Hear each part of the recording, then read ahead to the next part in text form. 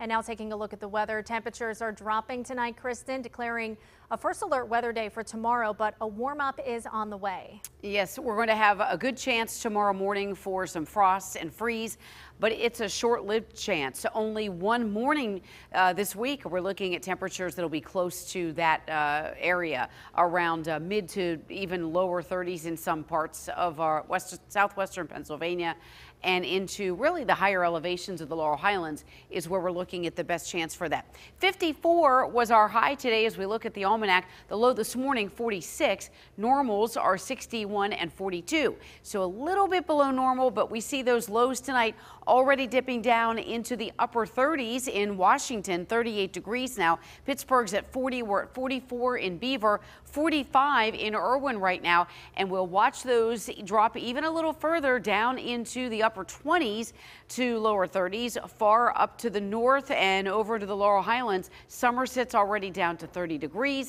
and as we look toward the lows tomorrow, they're in that realm that will give us a frost and freeze chance in some areas. Frost advisory in effect for Allegheny County and the surrounding counties, the light blue shaded areas. And then a freeze warning up closer to I-80, including Butler County, also down into Fayette, Greene, and Monongalia counties, especially in the low-lying areas. We're looking for that chance. So tomorrow, good chance for frost and freeze. That's why we have a first alert day in effect just for the morning hours. After about 9 a.m., everything warms up enough to get rid of that risk.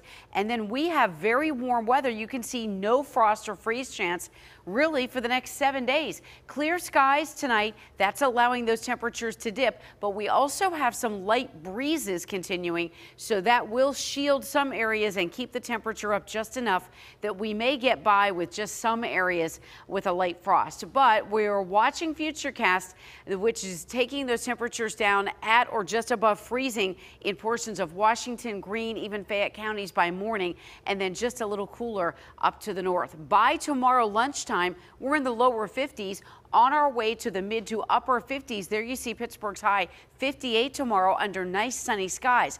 So a frosty morning, but by afternoon, we're at a very seasonable upper 50 degree temperature. And then Tuesday morning, more sunshine, not quite as chilly, lows right there around 40 in Pittsburgh.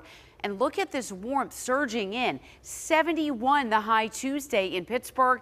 Lots of nice sunshine. And then likewise on uh, Wednesday, we are looking at lows only in the 50s and highs in the 70s. For tonight, clear and chilly frost and freeze potential. And then tomorrow, 58 your afternoon high. After that frosty start, we take off into the upper 50s on our way to the 70s as we head toward Tuesday.